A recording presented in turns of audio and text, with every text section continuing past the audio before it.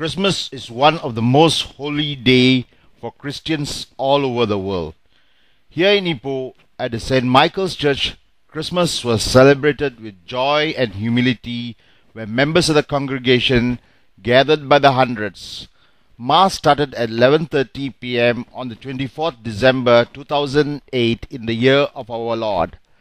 Reverend Father Michael Chia said Mass. Christmas is celebrated by Catholic or Protestant, Christian or non, believer or non believer. For on this day, we are all believers in a sense. We are believers in goodness, in beauty, in nature, in love, in the bright faces of our children, and the angelic light reflected from their eyes and hair. All the way through Christmas is the expression of life from the birth of the Savior to the symbol of life and nature expressed in our fragrant evergreen Christmas trees to the sheer joy on the faces of our children.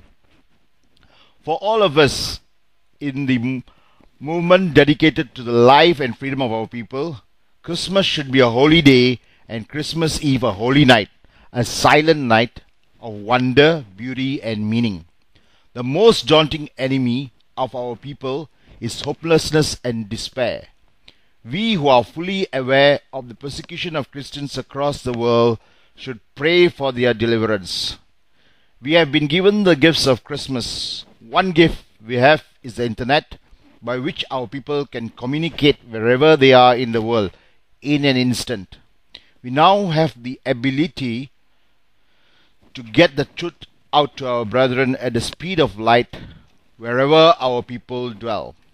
Right now, as you read or hear these words, there are teenage boys and girls in their own homes around the world who hear these words along with you. And these words sing to your hearts as they do sing from ta- mine. What is the song we sing? It is a song of love, of family and folk. It is a song of life and freedom. It is a song of beauty and achievement. It is the song of our people have sung in their hearts from the time they got to know our Lord. It is a song that we shall sing as we awaken, and it is a song that will stir the hearts of our descendants even as they travel to the infinite stars. We have to keep the faith, keep the beauty for which we strive in your hearts. Contemplate these things in the silence of Christmas Eve and celebrate them in the unrestrained joy of Christmas Day with family and friends. For these days are your days, make them meaningful. O silent night, O holy night, let the love of kith and kin fill our hearts. Let these days renew us and rededicate us to our heritage and our freedom. May God bless all our parishioners, our priests, Father Michael Chia and Father Anthony Chong. Merry Christmas to all believers in Christ all over the world. God bless you all.